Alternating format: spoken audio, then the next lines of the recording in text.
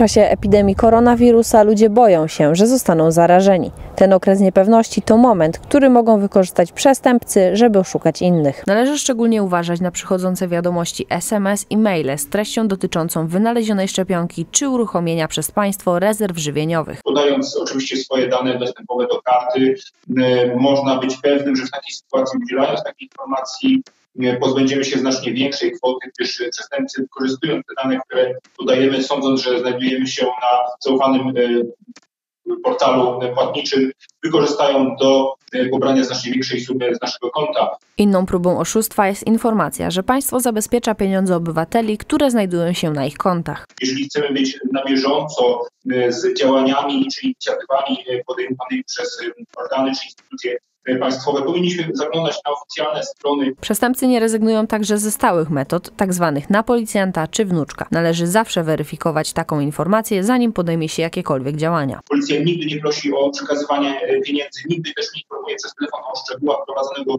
e, postępowania, więc w przypadku, kiedy nasz rozmówca sugeruje nam cokolwiek, co dotyczyłoby nam też środków e, pieniężnych, to już powinno zapalić nam czerwoną lampkę, że ktoś próbuje się dobrać do naszych oszczędności. Jeśli jednak ktoś padł ofiarą takiego przestępstwa, powinien jak najszybciej zgłosić na policję. Echo 24, Oliwia Stasiak.